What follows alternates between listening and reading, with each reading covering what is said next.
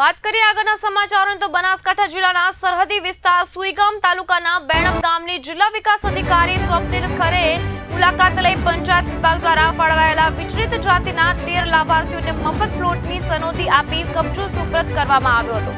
આ લાભાર્થીઓને જિલ્લા વિકાસ અધિકારીના હસ્તે સનદો અને કબજો પાવતી એનાયત કરવામાં આવી હતી. આ લાભાર્થીઓને પંડિત દીનદયાળ ઉપાધ્યાય આવાસ યોજના હેઠળ ફોર્મ ભરાવીને તેમને મકાન સહાય પણ પાડવામાં આવશે. તેમજ જિલ્લા વિકાસ અધિકારીએ જણાવ્યું હતું. એકથી બીજી જગ્યાએ ખુલ્લા આકાશ નીચે જીવન જૂતા ઘર વિહોણા વિચરતી જાતિના લાભાર્થીઓને સ્થાયી કરવાના આશયથી ફાળવવામાં આવેલા પ્લોટથી વિચરિત વિમુક્ત જાતિના પરિવારનું કાયમી સરનામું મળશે.